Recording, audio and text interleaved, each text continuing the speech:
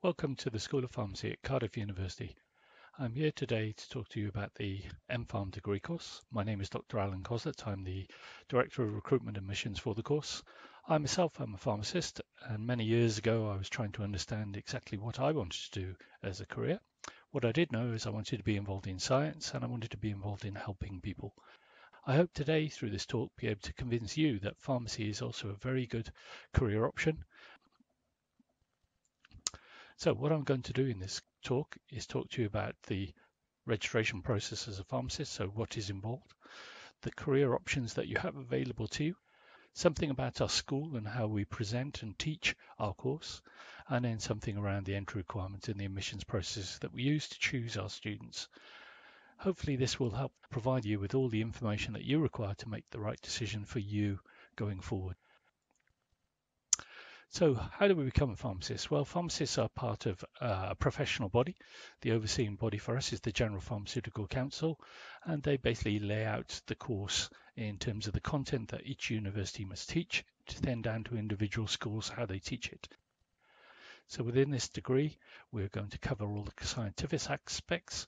We're going to look at how that then relates to the clinical practice, i.e. the dealing with patients, and then think about the career options that are available. Once you've got your degree, you're then going to go on to a, a what's called a pre-registration training year. This is a year of paid employment out in practice with an opportunity to prove to the professional body that you're capable of working as a pharmacist. So our involvement at the university is making sure our students are prepared for this year and then pass the examinations associated with this. Throughout all of this process, we're obviously also getting you ready for your career.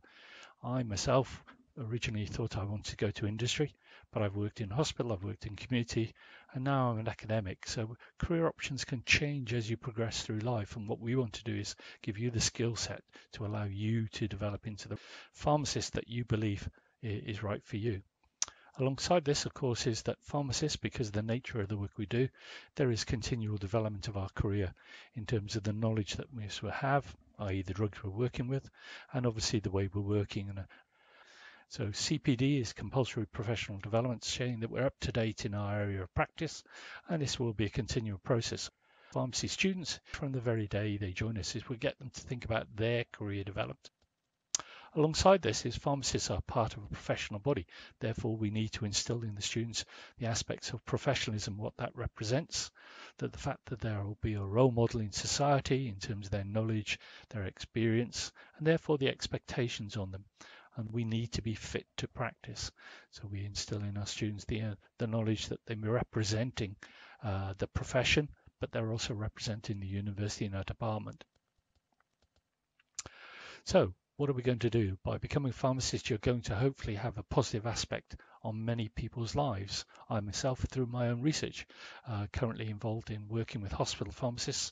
And whilst I do not get involved day to day with patients, I know that the research I undertake allows patients to have a sustaining life. And every pharmacist doing this in whatever uh, role they're undertaking. What we're looking for is to have students who are committed, passionate, and hardworking so that they too can make a difference in the future roles that they will undertake. So what roles can they undertake? Why do they undertake these various roles? Well, pharmacists are experts in many areas. We talk about pharmacy in four main areas, and that is medicinal chemistry, so the development of new chemical entities, i.e. new drug structures. We then have the aspects of the action of those drugs in the human bodies, trying to understand what are our targets, how these drug molecules are going to work, toxicity aspects, etc.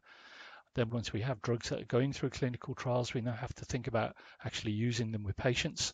So how we're going to convert those drugs into uh, medicinal dosage forms, whether that's tablets, capsules, injections, inhalers, thinking about the uses of those, what is simplification uh, and the processes, as well as obviously the, the physical and chemical aspects and of course, because we have the knowledge of building these medicines, we also know how to use them probably better than any other healthcare professional.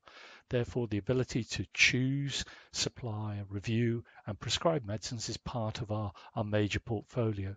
The latter is a postgraduate qualification for pharmacists, but more and more pharmacists are being seen uh, as vital in terms of this knowledge that they hold in helping doctors and nursing colleagues in terms of choosing the right medicines, not just because of the aspects in terms of the pharmacological side of it, but obviously their cost implications, safety implications. So we're doing this in all areas of practice. So where do we go with this knowledge? Well, we can work in all different areas. The first and most commonly known area is obviously of community practice or uh, shop pharmacists.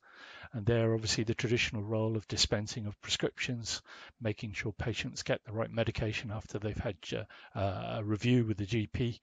But alongside that, of course, we've also got the sale and supply of medicines. So working with patients with minor ailments, talking through their illness, and then choosing a suitable medicine based on the, the description and the information they provide.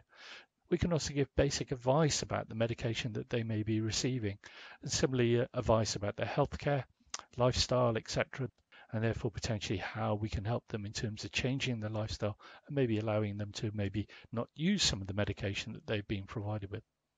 In the modern pharmacy, we're also doing what's called additional services flu vaccinations, uh, monitoring of patients, so blood monitoring, cholesterol monitoring, things that maybe traditionally you would have gone to see a doctor or a GP uh, to get.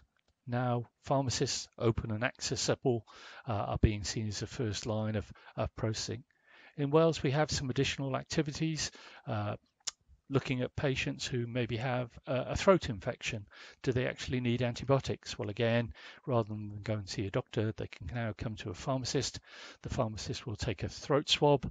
They will analyze this on a specialized machine. Once the results are back and they compare this with the information provided the, from the patient, there is the possibility then that this pharmacist can then prescribe antibiotics, so bypassing the doctor and speeding up the process of aiding these patients. So this minor ailments uh, service is a growing area for pharmacists to try and ease the pressure in some areas of practice. Another major area of traditional pharmacy is that of hospital pharmacists, pharmacists involved in clinical practice. This means going to the wards, meeting with the patients, being part of the ward rounds, here we can see in the top picture, actually robots are now part of this process. So the pharmacist, she remains at the ward, so she's part of the ward rounds. She may even run clinics in terms of meeting patients, so follow-up reviews. The advantage here, of course, is that they can advise the doctors, they can be advising the patients and the nursing staff in terms of the misuse of the medication that the patient is receiving.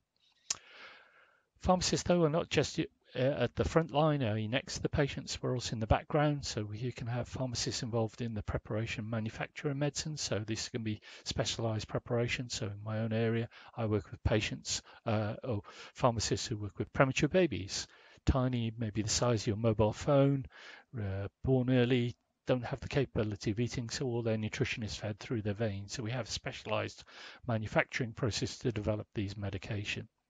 We're also seeing a, movement of patients away from the hospitals to have their treatments at home. So we need technical support for these patients, providing their medicines in a form that they can use or the district nurse can go in and help them in terms of delivery of them. These patients will also need clinical support, so maybe review of their medication, reviewing of the treatment process. And of course, pharmacists have the ability to prescribe. Makes much more sense now to have pharmacists actually where where it's appropriate to have the prescribing ability to change prescriptions to write prescriptions, working alongside doctor colleagues.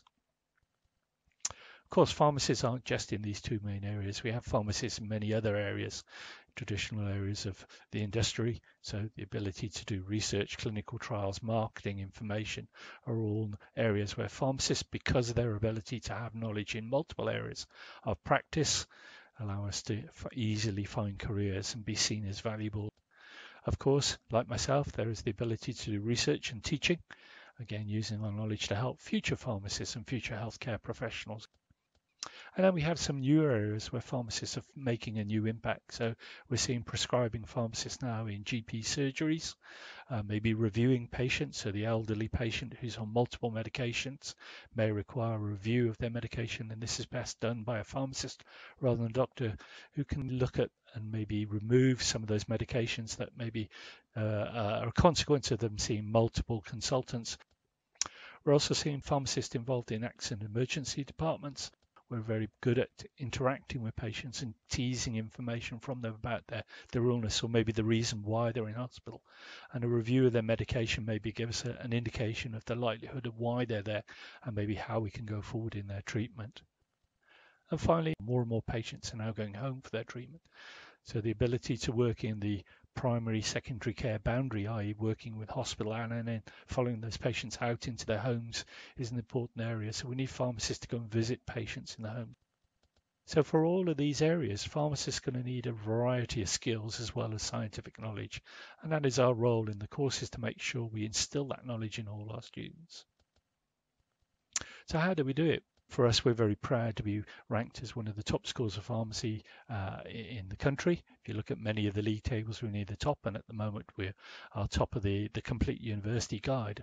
And that's based on choosing the right students and then having a course that's forever developing to make sure we are producing the pharmacists of the future so that you can progress in any area of practice, so where do our pharmacists go? Well, the most important thing is obviously getting onto that pre-registration year, and we're very proud of the fact that 100% of our students are in uh, full employment, i.e. Uh, taken up on that pre-registration. We've had very high success, and not only do we get success in terms of getting our students to the pre-registration year, but they also have a very high pass rate in the pre-registration exams. How do we help our students then? Well, not only can we do traditional teachings in terms of making sure we give them the knowledge and giving showing them the skills that they require, we push our students to find out about the career options to them. So we uh, provide them with a wide range or diverse range of student placements throughout all of the years of a course, from quite simplistic ones going into a, a pharmacy environment and understanding and seeing the role of the pharmacist to more complex areas. Some of these are purely about the knowledge of pharmacy, others are about skill development, the thinking about communication, looking at how they would undertake counselling activities. And our students value these and here we have a group of students who for the last few years have been involved in the Cardiff and Vale volunteering scheme. So they go out to the local hospitals, they're involved and engaged with uh, the patients, the nursing staff, the healthcare professionals. So they get an insight into what goes on in the healthcare areas they may go, go forward with in, in the future. And we're continually looking to develop placements for our students. Of course, our students don't work in isolation. No pharmacist does. So very important to us is the fact that Cardiff University has the full range of healthcare professionals. So we do uh, a range of interprofessional educational activities. Uh, alongside medical students, optometrists, and with uh, dentists. Here we can see a range of activities they may undertake. We have first year medical and pharmacy students learning about uh, basic life skills, so first aiding, uh, we also have interactions with our students in terms of working with uh, devices, so to lung uh, function testing. So we're making sure they have the appropriate skills. They are confident in terms of their interactions with other healthcare professionals. Of course, in the background is also then the scientific aspects. Here is our, our manufacturing suite. Uh, approximately a million pound was spent on this so I myself are involved in teaching this. So this is the sterile manufacturing. So in terms of uh, third year students, they will get a series of lectures on how to create injectable dosage forms. So we go through the theory of how to build these uh, formulations. They then go into our large teaching facility, uh, uh laboratory environment to have a go at making these products on a small scale, uh, looking through the worksheets, how they will work in practice and then we bring into this uh, real world environment so they can see the difficulties in making uh, these drugs. So it's not just here about the manufacturing process in terms of the physical manipulation, but also the the validation processes, the stability aspects. How do we create a product that is safe and fit for human beings? And obviously, this they value in terms of bringing real world environments uh, to them of students not only just have to have the knowledge, but they have to use that knowledge in difficult situations. So we assess our students in many different ways, traditional examinations, written examinations, uh, reports, workshops, seminars, etc. But we also have assessments of a different form that you may not have come across. So here we have OSCEs, objective structured clinical examinations. So here we have a, a pharmacy student they're interacting with a patient. In this case, the patient would be represented by an actor. The actor has been given a, a task uh, to perform in terms of maybe an angry patient, a patient who uh, asking for drugs on behalf of someone else. And the pharmacist has to deal with this patient in the same way as they would out in practice. And you can see at the front here is an academic who's reviewing this process. So they're reviewing not just the words that they're using, but the way they perform. So the actual, uh, the, the confidence in terms of the situation. So we do this in all four years of our course. The, the, the students are gaining uh, the skills that they need to go forward. And obviously this is going to be a vital skill for them as they go forward in their career.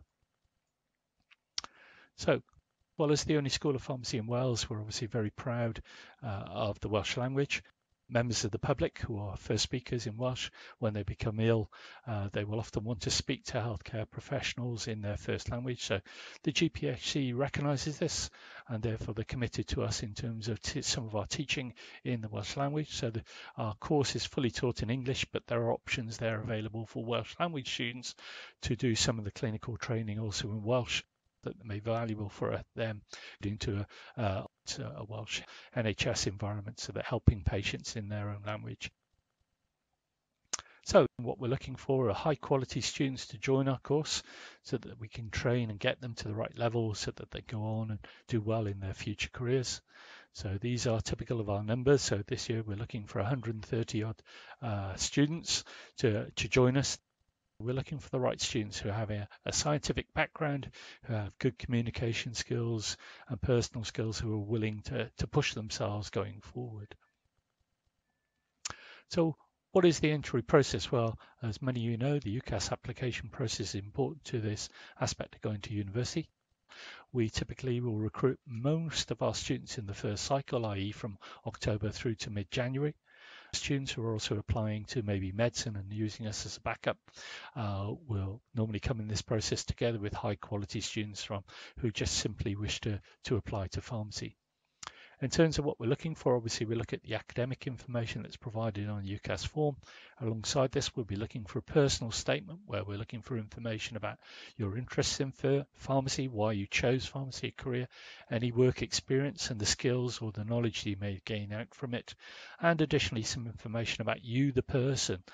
You know, do you do sports, music, drama, voluntary work? You know, think about the skills that you get from these activities and how they may help you as a pharmacist of the future. In terms of your, your UCAS form, obviously, as mentioned, the academic information is important in terms of GCSEs. The expectation is that you're doing sciences and these progress to A levels, but then we're also looking at English language and mathematics. Uh, we're looking for good grades because we have a, a, this experience that without these you may fail on our course. Terms of the A levels, then, so we're looking for uh, predicted grades close to uh, a typical AAB offer. So for the last few years, we've been interviewing uh, 3Bs and above. Uh, we need either a chemistry or biology as your first A level, then a second science that comes from chemistry, biology, maths, or physics, then a third A level. That third other A level can be any other subject except general studies or critical thinking. For some students, this may be a language, and we're fine with that. Actually, communication is a vital skill for pharmacists. If you're not doing A levels, then we would obviously look at other traditional qualifications like the International Baccalaureate, looking for high quality uh, equivalents, so 34 points, and then high levels in sciences.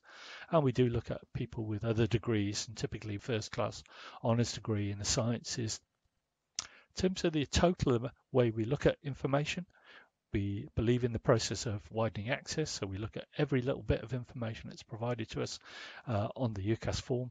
So we use contextualized admissions processing. So we're going to review uh, the background of yourself, your parent, what school you're from, what postcode you're from. We'll use any of these markers to help us make our final decision. In terms of the stepping process, so after screening the UCAS forms, those students who are suitable uh, for our course are then invited to interview. This interview will normally take place between mid-November and early April face-to-face interview where the students are interviewed for 30 minutes one-on-one by an academic member of staff with questions based around academic experience, knowledge of pharmacy practice and the skills that are involved, and something about the student. If you've done an EPQ on a, a healthcare related topic, let us know about it. We may pick on this to get you to, to talk and engage with us. Please note that we look at value-based recruitment, although not all our students go on to work for the NHS. Large exposure do so and will be exposed to the NHS environment as part of the course. Therefore, value-based recruitment that the NHS employs is important to us. So we probably will have a question around ethics uh, or dilemma that we will use as part of the interview process to help us make our final decision. So I hope I've covered all the information that you will require. If you do have any further questions about our course or the content that I've provided, then this is our email address. We also have a presence on social media, uh, including a number of videos that may supplement the information that I've provided. And I hope this information helped you. I certainly found a career in pharmacy that has helped me go forward. I know that the work I do is involved in terms of helping people, and I hope you will think this is also an opportunity for you to find a similar career. Thank you very much for your time and look forward to seeing you in the future.